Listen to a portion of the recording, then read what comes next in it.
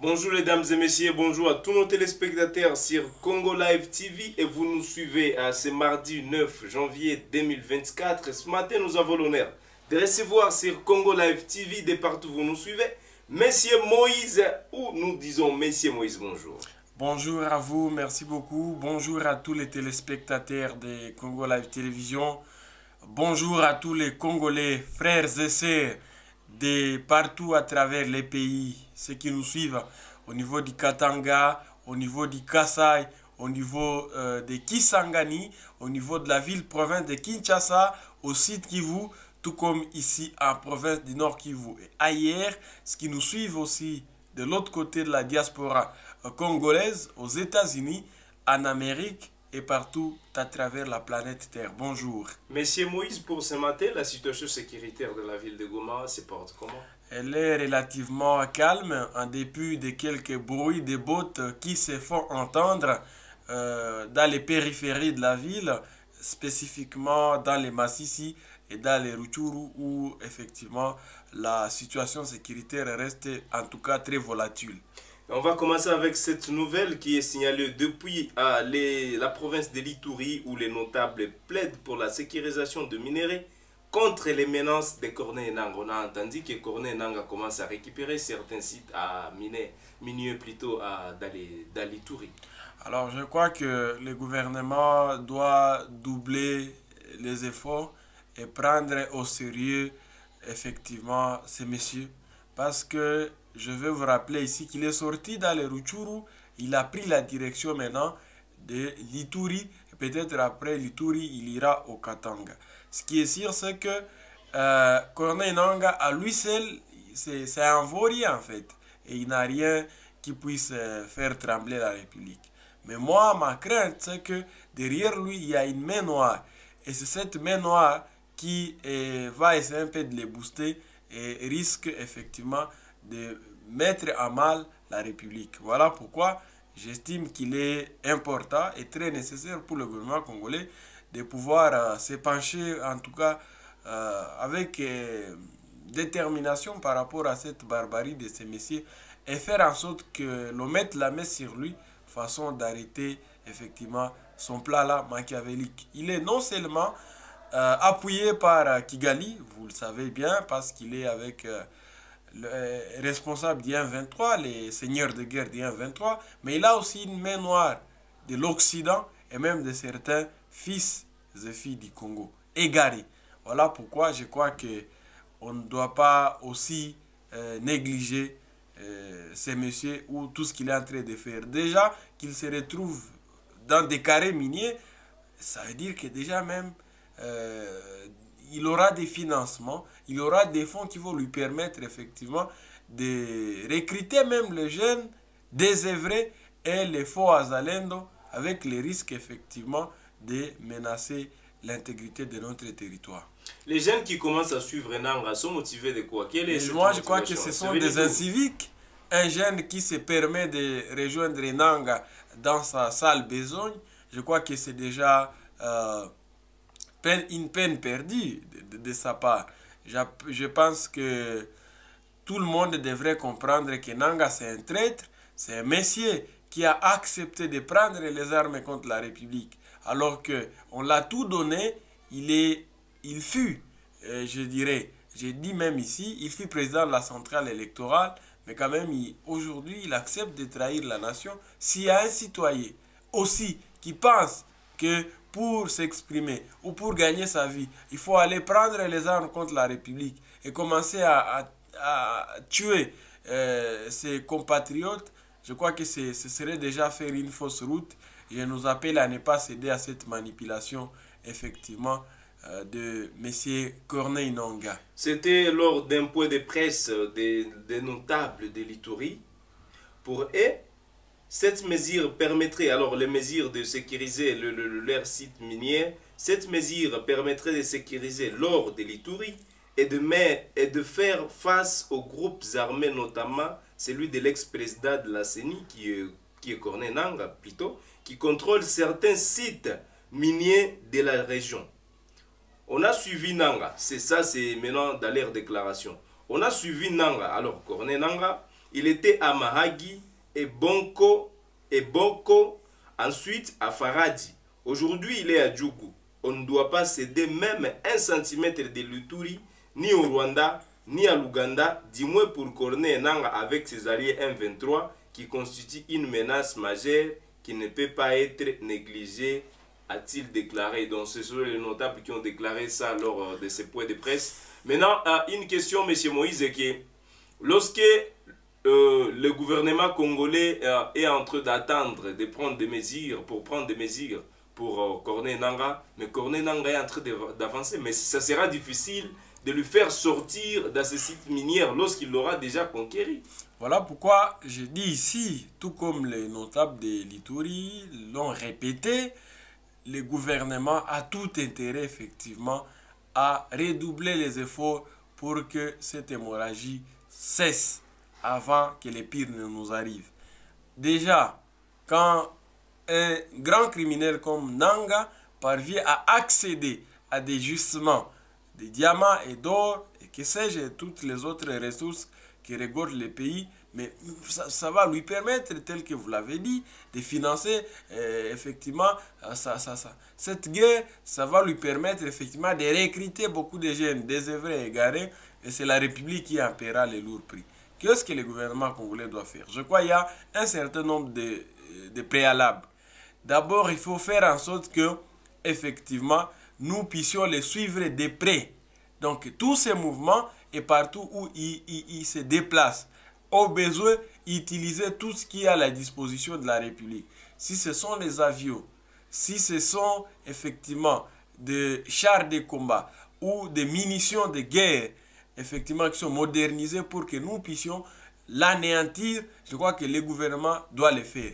Aussi, à nous, la population, comme les notables l'ont fait, nous avons tout intérêt à alerter les services publics, les services de sécurité et de renseignement par rapport à toute information qui soit ici relative effectivement à, à, à, à ces dossiers-là. Et ça va permettre à ce que dans l'Assemblée, nous puissions essayer un peu de contenir cette blague. Ce qui est sûr, c'est que on sait tous que les Rwandais n'agirent qu'à nous balkaniser et très pratiquement à la pointe nord Kivu, les Rwandais n'agirent effectivement qu'à continuer à nous entretuer au point que nous serons fatigués et céder à leurs caprices. On reste toujours dans l'Itourie où les communautés locales refusent la métendie de la milice Alliance du fleuve Congo. L'Union des associations culturelles pour le développement de l'Itourie, INADI, a fustigé dimanche 7 janvier la démarche de Corneille Nanga invitant les groupes armés, les, grou- les groupes armés de l'Itourie à adhérer à son mouvement rebelle Alliance du fleuve Congo AFC. Dans leur déclaration faite au cours d'une assemblée générale extraordinaire tenue dimanche à Bunia, les communautés membres de l'INADI se sont engagées à faire échec à ce nouveau groupe armé. Mais d'un côté, nous voyons certains qui sont motivés à suivre Nanga. De notre côté, nous voyons certains qui sont démotivés à suivre Nanga. Mais réellement, Nanga, c'est qui où le gouvernement n'a pas encore le, le- le- pouvoir de lui, de lui ôter ou de, de- de l'arrêter? Pourquoi le gouvernement n'est pas encore en mesure de faire ça? Donc, je crois que le gouvernement aussi ne dort pas et que donc euh, toutes les dispositions nécessaires sont en train d'être euh, mises en place pour que l'on puisse l'arrêter. Et le Congo devra aussi euh, booster ses partenaires à l'international pour réussir cela. Mais je crois qu'on ne peut que euh, bouder une métendie diabolique. La démarche de Corneille Nanga, c'est une démarche non seulement diabolique, mais une démarche incivique et condamnable. Et je ne vois vraiment pas un seul Congolais qui puisse accepter de faire aussi une fausse route et de euh, se rallier derrière euh, Corneille Nanga. Très pratiquement, jusqu'à ce stade, moi-même, je ne suis pas parvenu à comprendre profondément quelle est la motivation, quelle est la vraie frustration qui aurait poussé Corneille Nanga à prendre les armes contre la République et à rejoindre les groupes rebelles du M23. Je ne comprends pas jusqu'à ce stade, très chers compatriotes. Je vous dis ici, Nanga est parmi les gens qui ont bénéficié de la richesse du Congo. Il a des villas, à l'heure où je vous parle, partout à travers le pays, même ici à Goma, ici dans la ville. Je peux vous, vous, vous, vous dire, je peux vous rassurer qu'il a beaucoup de choses ici. Même à Kinshasa, même partout à travers la province. Mais il a justifié ce qu'il est en train de faire, M. Moïse. Il a justifié que c'était le plan pour amener la paix à l'est de la République. Non, ça, ça s'appelle démagogie. Quel plan pour amener la paix? Il avait toutes les possibilités, effectivement, d'adresser, s'il estime avoir des propositions au gouvernement et, et, ne pas prendre les armes. Ça, c'est en fait des discours qui sont taillés sur mesure et envers lesquels je pense qu'il ne faut pas donner trop d'attention. On ne peut pas amener la paix en tuant les gens. On ne peut pas amener la paix en rejoignant des terroristes comme les, les, les rebelles du 23 Je crois que euh, il essaie juste un peu de, de, jongler avec les mots, mais au fond, c'est vide, c'est vide ce qu'il est en train de déclarer là-bas, et il faut tout simplement s'en passer. Mais euh, même les gens qui sont en train de le suivre montrent combien de fois qu'ils sont maltraités à des, des, du pouvoir de Kinshasa ou du gouvernement de Kinshasa. Non, c'est pas parce que vous êtes très maltraité ou moins rémunéré qu'il faut rejoindre la brousse, monsieur les journalistes. Je l'ai dit, je l'ai dit ici, il y a d'autres démarches, il y a d'autres moyens qui sont prévus et établis par la Constitution à travers lesquels un citoyen peut exprimer son indignation ou effectivement, euh, je vais dire sa frustration. Si vous pensez être lésé, vous avez plein de moyens de, vous exprimer. Nous sommes dans un état de droit. Et qui parle état de droit sous-entend effectivement le respect des libertés publiques et les libertés d'expression. Mais dire que vous êtes frustré au point d'aller jusqu'à ce niveau-là, moi je crois que c'est exagéré et il faut aussi subir effectivement la rigueur de la loi parce que nous ne sommes pas dans une jungle où n'importe qui doit se réveiller et faire du n'importe quoi. On est en train effectivement de, de comprendre qu'il y a gens qui méritent même la pendaison en fait. Bien qu'on est euh, censé respecter euh, les fameux respect des droits de l'homme euh, et que sais-je. Mais je crois que déjà comme Nanga, une fois attrapé, il mérite la pendaison, comme à l'époque de M. Laurent Désiré. Vous l'amenez au stade et vous le pendez publiquement parce que sa trahison a coûté cher à la République. Il est parti jusqu'à un niveau qu'on ne peut pas tolérer. Ça, je vous dis ici. Monsieur Moïse, revenons dans les territoires de Rutshuru où l'insécurité bat son record. On se demande où est l'État congolais actuellement. Les rebelles du M23 RDF interdisent aux agriculteurs des territoires de Rutshuru de récolter leurs produits champêtres à cette période des récoltes. Selon la société civile du territoire de Rutshuru, la mesure est tombée mardi 2 janvier 2024. J'ai trois grands espaces. Je cultive des maïs à Karunga.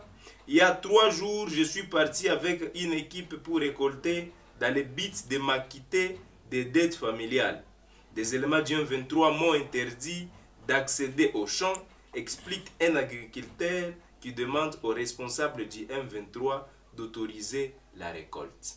Les M23 qui, qui, sont actuellement dans les Rutshuru commencent maintenant à interdire aux, aux, aux cultivateurs d'accéder à leurs champs. Où est l'État congolais? Alors, je, je, crois que c'est un message fort qui essaie un peu de confirmer tout ce que nous disons ici. En fait, les gens, nos compatriotes qui sont dans les zones sous occupation de la, rébellion du 23 ils souffrent énormément. Ils souffrent énormément parce qu'ils sont, je dirais, euh, dans, dans l'enfer. Et déjà, vous le remarquez. Comment comprendre que déjà soit interdit d'accéder à leur champ. Mais c'est bien beau parce que le, le porte-parole militaire de ce groupe, Willy Ngoma, était en train de se vanter comme quoi, là où nous contrôlons, tout va très bien. Les populations d'ailleurs nous admirent plus que les gouvernements, mais ce que nous assistons aujourd'hui nous dit le contraire. Donc pour dire euh, à ce niveau, pour dire que nous déplorons aussi cela et nous pensons que euh, les rebelles devraient effectivement laisser nos compatriotes accéder paisiblement à leurs champs. Et s'ils ne le veulent pas, ça va, on évolue. Un jour, ils seront obligés de quitter effectivement toutes ces localités comme effectivement des chiens. Et le gouvernement va effectivement euh, d'ici là faire en sorte qu'ils puissent euh, les déloger de toutes ces agglomérations parce qu'ils sont en train d'imposer les calvaires à nos populations et même leurs revendications, ils sont en train de les discrédibiliser. On ne pourra même plus accepter une seule de leurs revendications parce qu'on comprend déjà qu'ils sont inhumains. Vous ne pouvez même, même laisser quelqu'un accéder à son chat, vous l'interdisez et vous vous appelez déjà qui veut libérer le Congo. Monsieur Moïse, ça, ça s'appelle blague. Plusieurs paysans sont maintenant frustrés. Plusieurs cultivateurs sont effectivement, déjà, et qui se sont rendus dans leurs champs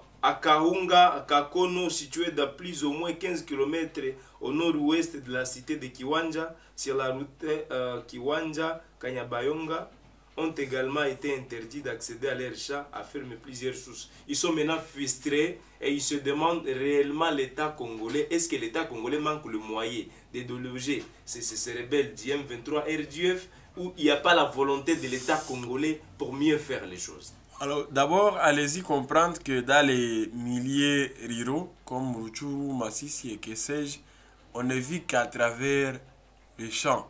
Ça veut dire y ne fait pas trop de commerce comme dans la ville ici. On ne fait pas trop de, je veux dire, de transactions et que sais-je. Toutes les familles se concentrent sur les champs. À partir du moment où on les interdit d'accéder à leurs champs, ça veut dire on veut que certains meurent de faim. On veut effectivement que la famine gagne euh, effectivement euh, bat son plein dans, dans, dans cette zone. Évidemment, il revient au gouvernement congolais d'assurer non seulement la sécurité de sa population et le développement aussi de, de, de ce- cette dernière, mais spécifiquement pour la question, je crois que le gouvernement aussi il est au courant de tout ça et je, je n'ai pas l'impression de me substituer ici un ministre ou à, à- au porte-parole du gouvernement, mais tout ce que j'ai dit ici, c'est en tant qu'analyste indépendant et des observations quand même qui sont amères. Monsieur Moïse, est-ce que sont ce sont les moyens qui manquent à l'État congolais pour déloger ces RDF Alors la guerre, on connaît comment elle euh, débute, mais on ne sait pas pourquoi elle, euh, elle prendra fin. Le gouvernement fait le maire de lui-même, bien que ce n'est pas suffisant. Et ce que nous demandons, c'est que vraiment on se concentre sur cette guerre et qu'elle prenne fin dans un bref délai. Je sais qu'il y a beaucoup de défis, énormes encore, qui sont aux côtés du gouvernement et ces défis sont d'ordre logistique, ces défis sont d'ordre, je vais dire, euh, structurel même parce qu'au niveau de l'armée, il y a des brebis galaises qui ne facilitent pas la tâche, il y a des infiltrés au sein de notre FRDC. Voilà qui justifie parfois le débauchage que vous assistez du jour au lendemain. Déjà des officiers, des généraux et même des colonels qui sont ces FRDC, mais qui jouent à la politique des deux poids deux. Tantôt ils sont aux côtés des rebelles, tantôt ils sont au niveau de notre appareil euh, militaire. Et ces gens-là nous rendent la tâche difficile. Mais je crois qu'il revient à l'hiérarchie militaire et à Kinshasa, au président de la République, Félix Tshisekedi, euh, Chilombo, au Premier ministre Jean-Michel Samalkonde et à d'autres membres du gouvernement de pouvoir faire les meilleurs d'eux-mêmes pour que ces infiltrés qui sont au sein des On- on- on FRDC va soient mis on- hors on- d'état On va de nuire. finir avec cette nouvelle euh, qui porte à, à la nomination de, des nouveaux commandants de- de- de- de- de- des régions. Le général David Machimba a été nommé commandant de la tra- 13e région militaire pour l'Équateur. Le général Tambuka Bam, commandant de la 32e région militaire à Ituri.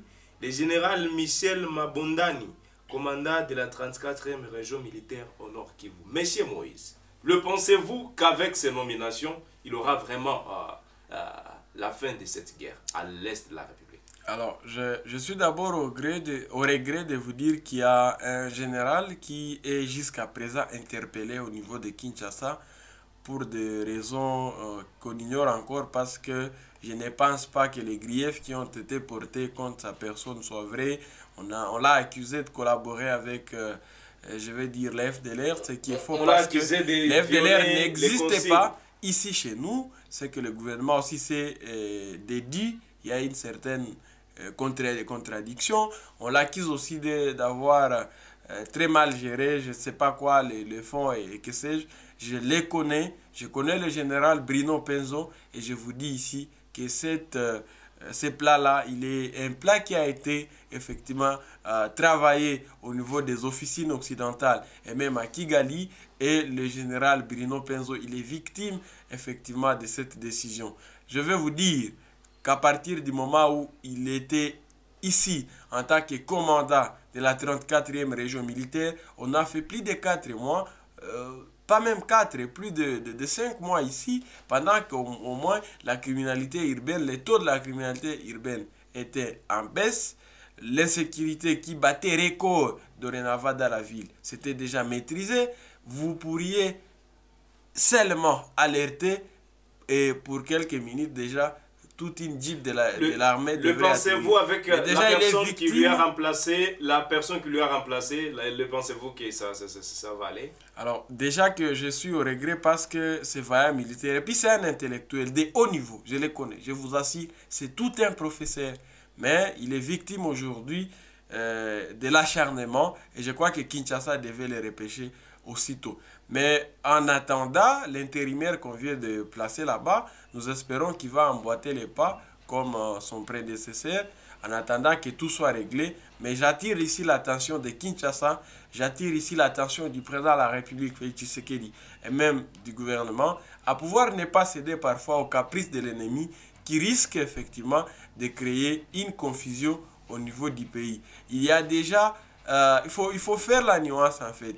Ce ne sont pas toutes les allégations gratuites qui, sur lesquelles on doit, on doit se pencher. Il faut vérifier les faits et parvenir à décider de manière intelligente. Et pour la fin, euh, un message pour le FRDC que vous suivez apparaît Insta sur Congo Live TV, messieurs. Nos voyants militaires, euh, nous les félicitons.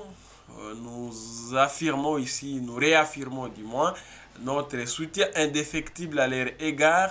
Nous appelons le peuple congolais à pouvoir se mobiliser de partout à travers le pays pour solidariser avec ces militaires et pour les encourager à pouvoir effectivement accomplir avec euh, satisfaction la mission qui est euh, les leurs. Nous sommes euh, menacés, nous sommes aujourd'hui sous victimes de l'agression rwandaise et que donc on n'a plus que cette armée qui doit nous aider à mettre hors d'état de nuire ces aventuriers.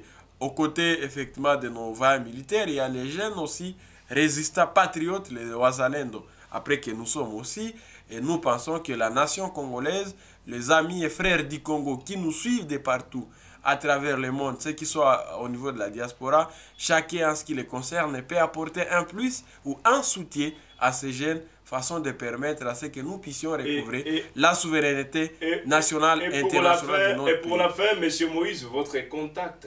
Notre numéro, c'est le plus 243 99 25 42 946. 99 25 42 946. C'est notre contact euh, à retrouver sur WhatsApp et même sur Airtel Money pour ceux-là qui veulent nous appuyer. C'est fait un plaisir de vous recevoir ce matin, monsieur Moïse, sur Congo Live TV, où vous nous suivez de partout au monde et pourquoi pas à Kinshasa. Nous disons merci beaucoup de nous avoir choisis à Congo Live TV. Merci et excellente journée à vous. Inch'Allah.